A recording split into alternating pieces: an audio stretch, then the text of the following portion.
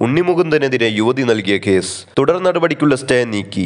നടൻ ഉണ്ണിമുകുന്ദനെതിരെ സ്ത്രീത്വത്തെ അപമാനിച്ചെന്ന കുറ്റം ഉൾപ്പെടെ ആരോപിച്ച് യുവതി നൽകിയ കേസിൽ തുടർ നടപടിക്കുള്ള സ്റ്റേ ഹൈക്കോടതി നീക്കി. ഹൈക്കോടതി ജഡ്ജിമാർക്കു കൈക്കൂലി നൽകണമെന്ന് തെറ്റിദ്ധരിപ്പിച്ച് കക്ഷികളിൽ നിന്നും പണം വാങ്ങിയെന്ന ആരോപണത്തിന് വിധേയയായ സൈബി ജോസ് കിടുങ്ങൂരാണ് നടനു വേണ്ടി ഹാജരായിരുന്നത്. കേസ് ഒത്തുതീർപ്പാക്കുന്നതിൽ എതിർപ്പില്ലെന്ന് വ്യക്തമാക്കി ഹർജി ഭാഗം തന്റെ പേരിൽ ഹാജരാക്കിയ സത്യവാമൂലം വ്യാജമാണെന്ന് പരാതിക്കാരി ഹൈക്കോടതിയിൽ അറിയിച്ചതിനെ തുടർന്നാണ് സ്റ്റേ നീക്കിയത്. വിഷയം ഗൗരവമാണെന്ന് ജസ്റ്റിസ് കെ ബാബു അഭിപ്രായപ്പെട്ടു.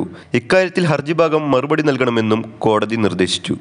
Ernakulam first class judicial magistrate കോടതിയിലെ കേസ് നടപടികളാണ് ഹൈക്കോടതി നേരത്തെ സ്റ്റേ ചെയ്തിരുന്നത്. ഹർജി പതിനേഴിന് വീണ്ടും പരിഗണിക്കും. ഇന്നലെ കേസ് പരിഗണിക്കുമ്പോൾ അഡ്വക്കേറ്റ് സൈബി ഹാജരായിരുന്നില്ല. പകരം ജൂനിയർ അഭിഭാഷകനാണ് ഹാജരായിരുന്നത്. സത്യവാങ്മൂലം നൽകിയതെങ്ങനെയെന്ന് വിശദീകരിക്കാൻ ഹൈക്കോടതി നിർദ്ദേശിച്ചു. സംഭവത്തിൽ വ്യാജരേഖ ചമയ്ക്കൽ കോടതിയെ തെറ്റിദ്ധരിപ്പിക്കൽ തുടങ്ങിയവ ഉണ്ടായിട്ടുണ്ടോ എന്നും വാക്കാൽ ചോദിച്ചു. രണ്ടായിരത്തി പതിനേഴിൽ സിനിമാ ചർച്ചയ്ക്ക് ഉണ്ണിമുകുന്ദനെ കാണാനെത്തിയപ്പോൾ ലൈംഗികമായി ആക്രമിക്കുക സ്ത്രീതത്വത്തെ അപമാനിക്കുക തുടങ്ങിയ ലക്ഷണങ്ങളോടെ മോശമായി പെരുമാറിയതെന്നാണ് പരാതി. കേസിൽ Ernakulam judicial first class magistrate കോടതി പരാതിക്കാരിയുടെ രഹസ്യമൊഴി രേഖപ്പെടുത്തിയിരുന്നു. വിചാരണ പുരോഗമിക്കുന്നതിനിടെയാണ് കേസ് റദ്ദാക്കാൻ ഉണ്ണിമുകുന്ദൻ ഹൈക്കോടതിയെ സമീപിച്ചത്.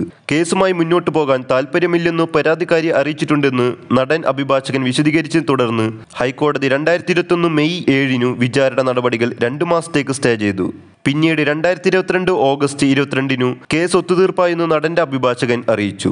തുടർ നടപടിക്ക് കേസ് ഓണം അവധിക്ക് പരിഗണിക്കുമെന്ന് വ്യക്തമാക്കി അന്ന് സ്റ്റേ നീട്ടുകയും ചെയ്തു. സ്റ്റേ പിന്നീട് പലതവണ നീട്ടി. തുടർന്ന് ഇന്നലെ വീണ്ടും കേസ് വന്നപ്പോഴാണ് താൻ ഒത്തുതീർപ്പ് കരാറിൽ ഒപ്പിട്ടിട്ടില്ലെന്നും രേഖ വ്യാജമാണെന്നും പരാതിക്കാരി അറിയിച്ചത്.